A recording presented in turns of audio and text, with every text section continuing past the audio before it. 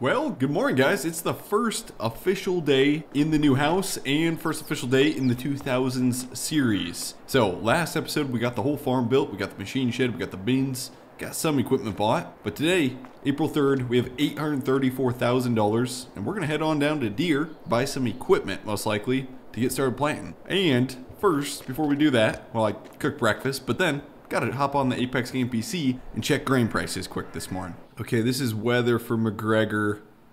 I need to get to grain prices, not that tab. Okay, December 2023, cash grain prices, 507. We're 63 cents under on basis. Oh my gosh, they must have a lot of grain there ready to sell come fall. Okay, so 507 for corn. That's not too bad. I don't think we need any forward contract any right now. Maybe in the future we'll have to. We got to get going. We got to unhook this trailer. So I'm to put the trailer back there, but then we're to be on down to Holland and Sons down there at the dealer. Probably stop by the John Deere dealer. And then if you go across the river over in Wisconsin, there's actually a, a used Case IH dealer that shouldn't be should be a pretty nice dealer. So we're to stop by over there too. For now, I'm just to put this trailer around back right there. This is kind of our like trailer storage yard in the grass back here.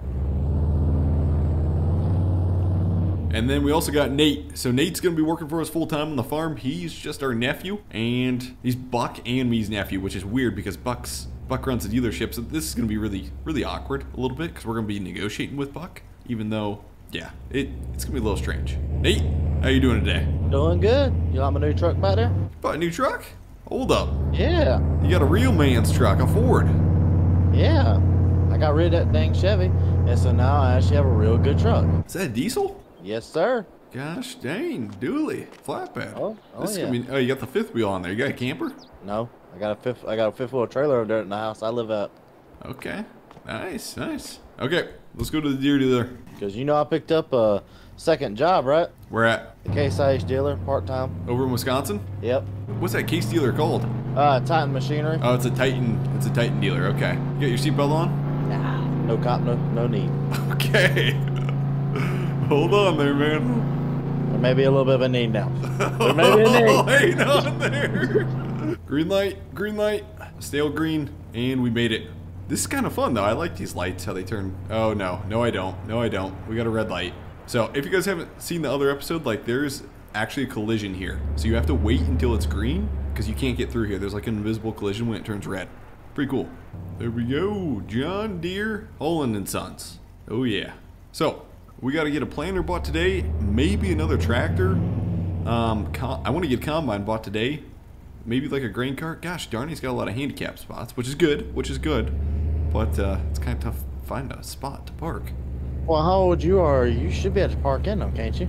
Oh, good one. You want to come open the door for me so I can get out? You got to play a prank on Buch. If I play a prank on him, he might die. He's that old, okay? We were negotiating with Buch. We put his car in the handicap spot, take a photo of it, and say, hey, if you don't give us this price, we're going to show the town you parked in a handicap spot. Yeah, but I know him. He that's his baby over there. He don't just have the keys laying in it anymore. He learned after last time. You could blame Daniels for that. True. No keys in it. Okay, it's all good. Mr. Johnny Buch, how you doing? And my second favorite uncle. Oh, what do you two want? It's hard enough putting up with one of you for a day, let alone two. We're here to buy a tractor and a combine, and a planter probably. You're here to buy it or try and smooth talk me into getting you a free one? Well, There's a difference. if you spend enough time with us and maybe take us out for a nice dinner and stuff, we'll maybe buy something from you. I've spent 65 years having to be standing by your side. I think I know you well enough. I'm not that stupid, and I'm not that old. Come on, we got to work you a little bit. Oh my goodness. Well, what do we got going today? Because I know, Nate, we need to get you settled up with your stuff. Did you end up getting uh, with our quote of 500 before trade? Did you end up deciding what you want to do with that? Yeah, we're gonna change a couple of things. I think Uncle Grant's the better one to work with first. Let's say we'll take care of you, Grant. What what on what all are we gonna be getting for you? Because you obviously already got the uh, 9620T and then well, the 9630, and then that Tiger Mate. Well, I need a planter and I need a combine. A combine that could probably run an 8 or 12 row head, kind of right in that range. If it was like a year old or something, that'd be perfect. A used combine. Well, we might have something just special for you. It's sitting in the shop right now. Okay. 9770 STS. But 9770 STS, that'd be perfect. How many horse? more than you're gonna need. Okay. And trust me, you're gonna like this. You might want to follow me. Well, actually, let's this way. Who the heck made this wraparound desk go all the way to the shop? It may or may not have a uh, little decal work done to it. It's a Busch Light Oh my gosh, dude! Uh, Why'd you guys put this wrap on there? We didn't. Guy came and traded it in. Oh, was it uh, something a little bit bigger. was it Cory over in Iowa, over in Central Iowa? Yes. Yes, it was. Why on earth he would get rid of this thing, I don't know. But it's now uh, back up for listing. We're just running through it right now since we just kind of got it in two days ago. So they're still kind of doing a final inspection on it all. Uh, how much are you selling it for? We have this thing right now at 210,000. It's got 1,200 hours on the engine and 700 hours on the separator. Okay, that's not too so It's been used, but she's pretty you- much pristine. What do you got for a corn head for it? Would you have a 12 row? I do have a folding 12 row corn head. Okay, I'll take. Uh, wait, how much is a 12 row? 12 row, I think I have listed out right now at about 45,000. Forty-five thousand. Okay. Uh, Draper. What size Draper could it run? Or Beanhead even? This thing could run a 40 foot, but I only have a 35 in stock. Uh, Could you order me a forty foot later? To my knowledge, as of right now, no. Market's tight. I can try to put in an order, but you're going to be better off getting one of those because I don't know when I can get it to you. That's the problem. Okay. It's got Starfire prep, so it does not have GPS installed currently. It does have uh, the extended big top on the grain bin, so, uh, Yeah. on the top of the bin, so you do have that. I do believe you have LED lights that were swapped into it, so it's got a bit brighter of that. Uh, the tires are pretty pretty new in the back. I know those back tires have been replaced from what we were told. Obviously, with the wrap job on there, your paint condition's pretty good. And then it has been serviced, so all the belts and chains have been like te- tensioned and replaced if they need to be. Okay. It's got a CB in here. Green Star ready, of course, right? 70 series was Green Star ready, you said? Yep, it's got the mount on there. All you need is the globe and the actual software itself. I'll take it. You throw in a Star Starfire 3000 globe and a 2630 display. You got yourself a deal. Well, I'll have to look on our price sheet as to what that's going to cost you to get the Green Star put in there and pretty much programmed. I think that'll probably be going to be up to about 215 at the end of it. Okay.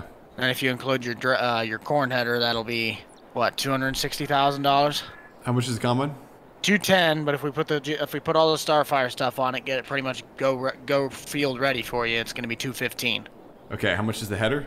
45 for the corn header, and if we can get you the Draper, it'll be about I think it's brand new 30,000 to get a 30 foot header. Okay. 30 no, 35 it'd be 35,000 for the header. Okay, two 255 for them all. Besides the Draper, obviously. That I can do. Gotcha. You got yourself a deal, Buch. I was gonna say, well then, what do you want to do with the bean header? Bean header, I'm gonna find one later, I guess. I don't need it right now. Okay. Well, we'll at least get that figured out. What else did you need? I need a combine, maybe a tractor. That is the combine. Or pfft, I, I need a He needs another one apparently. I need a planter and maybe a tractor. We have an 80, uh, 8130 right here. This is going to be your cheapest alternative. It does already have Starfire 3000 prepped on it, so you don't have to worry about any of that setup. This is obviously the cheapest option that we have at about 100. I think this one's listed at 175,000. Obviously, you can't get this big boy because it's got uh, 700 duals on it. But we have an 8530, completely same thing. It's got GPS, Starfire. It's the whole shebang premium seating. I believe it's also got CB pretty much set up and they're ready to go as well. This one is listed at uh, 240,000. Holy. Okay. Is it, it has ILS and power? Sh- is it power shift This or is a power. This is a, this is this is a power shift one.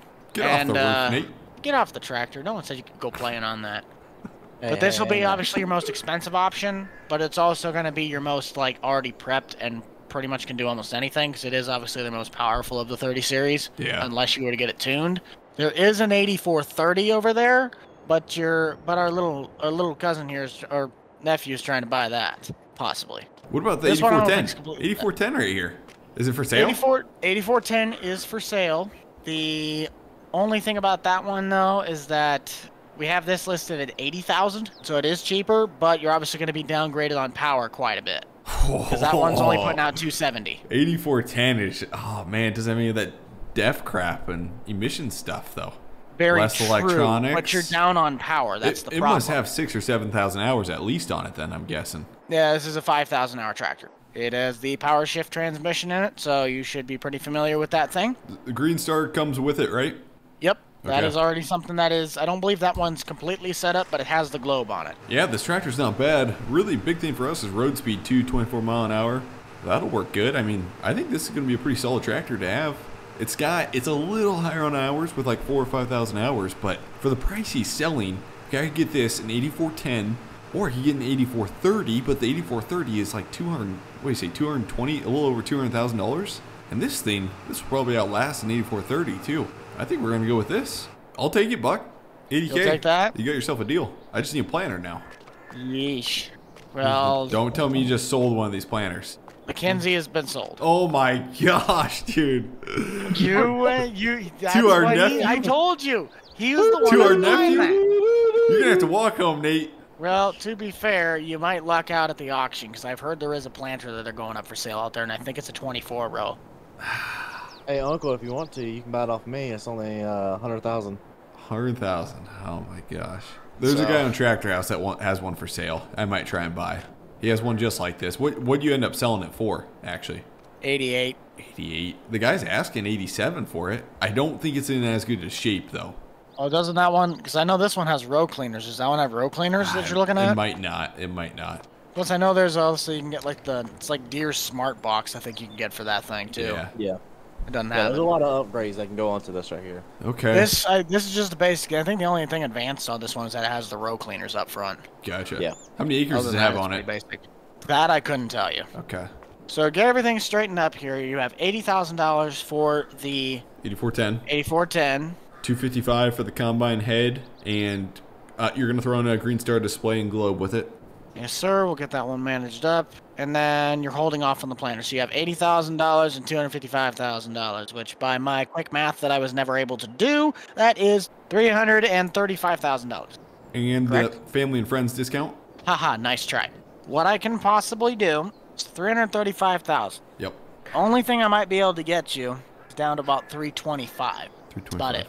You got yourself a deal, Johnny Buch. And 325,000. There you go. All right, thank you, sir. I cannot believe that you have carrying that much cash around. You are an absolute bonehead, Key- but keys in them. should be. Does anybody who's go- who wants to drive the combine home? I guess I'll drive the combine home. Who wants to drive the I'll 8410? drive the combine home. What? Hold on, I got You're that the, one. you're the guy that stole the planner from me. I didn't Okay, and we nothing. just went, and I believe I also just got your check cashed through. Nate, did you uh, did you Alright. cash your check too? Okay. All right. Okay, Nate, get in the combine. Bring the uh, bring the 12 row too. Excuse me, the thing's not ready to go. What? We have to get the thing prepped. Ah, shoot. It's You don't in the ever shop let me for a have no reason. fun. Okay, it better be back at my place in a couple hours, I'll Buch. we'll, get- Get so on you're it. wanting it to be transported. Yes. Are you going to pick it up yourself, or we're gonna have to truck it? Be at my place in three hours, Buch. You do realize You I'm know on the, the clock, deal. right? I can't just take Get to your it. stuff from here. I can't. We do expect that. greatness at John Deere. Okay, believe it or not, I stopped, called the guy on Tractor House, picked up a magazine at the gas station on the way. He's got a Kinze planner, so exact same as Nate's that Nate bought, but it's a it has liquid on it. And he's asking actually I was wrong, he's asking thousand dollars more than the one at John Deere, but has liquid fertilizer all set up on it. So I told the guy if he holds it, we're taking it. We actually got a cashier's check out of the bank, so that's why we're missing 80 grand right now. And I'm gonna buy this thing. So we're gonna take the Magnum down the road. It's about 15 miles, I'd say, down the road. Um, the guy has it for sale. It's a used planter, but we're gonna get it bought here. So we're taking the Magnum. I think the Magnum's probably gonna go on the Kinze planter, and then most likely the 8410 would probably go on a sprayer, and then maybe some tillage too. While the 9630T will be on the field cultivator, and then we gotta put anhydrous on too. We gotta get our, all of our fertilizer on. This guy's got a nice place. Yeah, this is really nice. Adams. It's the Adams farm. If you guys ever heard of heard of them. Okay, so we got the planter bought. That deal worked out good. Gave him the cashier's check. This thing actually has some technology on it too, where as a variable rate drive, so we can variable rate seed, put like you know thirty thousand and some marginal ground, and up it to like thirty-five thousand plants per acre, and some you know really heavy good ground. So there's a whole opportunities with this planter. I think it's going to turn out pretty good. Gosh, that farm looks awesome on the top of the hill there. I'm liking it. I'm probably going to have to park this planter. We'll see if I can get it fit in here. Yeah, I don't know if it's going to fit. I doubt it's going to fit. I guess I'll just park it outside for now. I'll just back up, park it next to the 9630. Boosh. What did you do? This is going to be awesome. You Wait, need wait, hold up, hold up. Is that going to fit? Son of a gun? That's what he's testing. I don't know if it's going to fit in the shed. Well, you're gonna be cutting Oh. me close. Come Oh, on. Uh, you might actually. You oh, might. Oh, that is- You just might. Oh, Oh, no, hey, she's pushing neat, now. Are you scraping? Yeah, I was pushing. Could I ever put a folding hopper on it so I can fit it in the shop? I don't know. I got an no, idea. no, our high store is the one over there. That works too. It fits. No, it Dan. fits. Unc- Uncle Buch, I'm not the one getting this out of here. Just letting you know. Hang on a minute. Oh my god. Yeah, well, now it's in. You can't get it back out. There we go. We got the Busch Combine. And I think that auction's next week. We'll have to head to that place. For sure. I know they got a handful of things. I think there's a tractor actually I'm gonna try and get on uh, get from my place. This small little guy. So we're gonna have one of our fields is actually probably fit to plant. So we're gonna try planting this. I'm gonna have Nate run ahead of us. I'm gonna purchase the soil sampling info for like four grand, which is super expensive actually to soil sample it. But that'll give us our soil types and everything we need to know about that field, and then we can apply nitrogen and liquid fertilizer based off that field. So that should be good. We got a field cultivate ahead of it, but we're gonna go probably plant field 23. Nate, you want to run the field cultivator? Yeah, I can. Buch, do you have your 50 20, 50 20 in the plow still? Uh, I got. I don't have my. I don't have the plow anymore, but I got a little like disc plow. Okay, I got um, I got some grass down here that uh, landscapers here. Jump on the hood here. You can see it. It's cut through the field. I need to disc that up. Do you see right where like that, yeah. Yeah. basically it, it was all mess. If you want to disc Who's that up, gonna that'd run be me? great. Well, who's gonna run me back down to the dealer so I can get my car? I got you. I'll give you a ride. Hey Nate, can you get the planter full of uh, liquid fertilizer? I got liquid fertilizer tanks back there. They're full. Alright, yeah, I'll go ahead and get that done. And then I'm gonna bring some didn't know you seed back to fill that planter. Alrighty, I'll go ahead and have that, and then I'll head out to the field to get a start on you. Okay. If you guys see our money just went down, it's because Nate, I think, wrote a check for fertilizer. So, fertilizer guys can come out and fill those uh, fertilizer bins. Green light. Let's go. Skirt. yellow light. Yellow light. Go on. Get through it. Good. Who the heck taught you how to drive? Your mom, which is my Well, mom. she's your mom too. So yeah. no wonder. Mom always was a terrible driver. I know. I know. She was a good lady, though. Get on her, Buch. oh. Okay, guys, I had to quick grab some food and gas at the gas station, and we're loaded down though. We got everything loaded down. Stopped at the Pioneer dealer, and she is a load and a half for the truck, but we're making her. I mean, she's squatting pretty darn good, but we should make her back. I just gotta take the curves a little slower with this thing, because this is a heavy load. Just gotta be easy, easy on the curves. Oh gosh, Buch's gonna have something to say about this. Oh gosh, oh gosh, keep her in, keep her in check. Oh, she is squishy. Okay, we made it here. We should be set up and ready to go. Look at that. Kinze planters. The lids come off themselves. Okay, we should be good to go. I got the planter full of seed, and Nate should have it full of liquid. Yep, we got liquid fertilizer there. We're ready to go. I've never planned with this planter, but everything should be set. Hey, Nate and Buch, you guys on CB? Yes, I am. Okay, Buch, you know what to plow plow up, right? Yep, right here. Okay, perfect. Nate, uh, you almost done with that field? Nowhere near. I had to do some adjusting on the concaves on it, Okay. so trying to get everything dialed in. Okay, so in the wise words of Iowan farmer Ben Van Rokel, we're gonna do some planter yoga. There we go. This is nice. I've never seen this. Planter is set up. We got liquid. We got seed. I'm gonna check and make sure our depth is set good on the closing wheels. Looks good. Looks good. Depth looks good on the row unit too. Okay, we're gonna turn her on. Drop her down. And we are planting. It looks like everything's closing real good. Dig it up quick. Yeah, two and a quarter is good. I'm seeing some two and a half, two and three quarters. That's probably a little too deep. I'm gonna adjust the planter a little bit, shallow it up just a little more. Now, if we're corn, we're probably getting close. For, but for beans, that is that's a little too deep, especially since it's so warm out. Brad, you got a copy? Yep. Finishing up on that last strip here for the main chunk.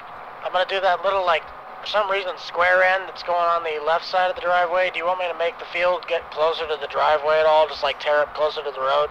You could a tad bit. Whatever you think looks nice, I'd say. Know, I'll just kind of clean it up. Yeah, clean up any any loose ends over there. Buch, you got a bigger planter at all? I got an eight row. Does that count?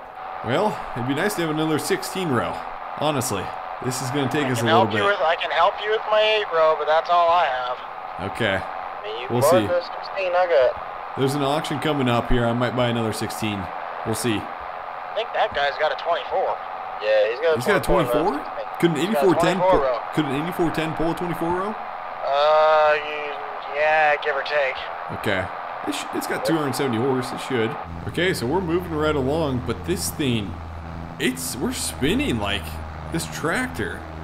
Like we're spinning up these hills here. Like it's pulling hard. I've never seen a planter pull this hard, but I mean it's going. We're not putting on any nitrogen. We do have the full planter full. Once we switch to corn, we'll put on nitrogen. But it's kind of cool because you can see the little knives going ahead of the row. So we're putting nitrogen right down the row, right ahead of uh, right ahead of the planter. I literally can't pull. We're literally stuck on a side hill. This is pretty cool. I mean, we're like literally spinning. Come on, come on. Okay, so we did the headlands. I got a sensor going off for one of these tubes here. It's got every sensor has a tube, or every tube has a sensor on it to tell me our population. One of them keeps reading bad, and I forgot my tool. It's a, it's a sensor cleaning tool that you stick down there to clean all the dust off and stuff, so it can read better. It's at home, and I don't want to ride over there, so I got to call Buch or something, somebody to pick me up, or I can run over there. Yeah, I guess I'm gonna sprint over there, back there, grab the tool, so we can keep playing and actually follow population. But anyways, hmm. guys, this is gonna be the end of this episode. Hopefully, you guys did enjoy it. Next episode, we have an auction coming up. Hopefully, we can get another planter bot because it's gonna take us forever to plant. Check out Nate's channel down below, and hey, we'll see you guys in the next one.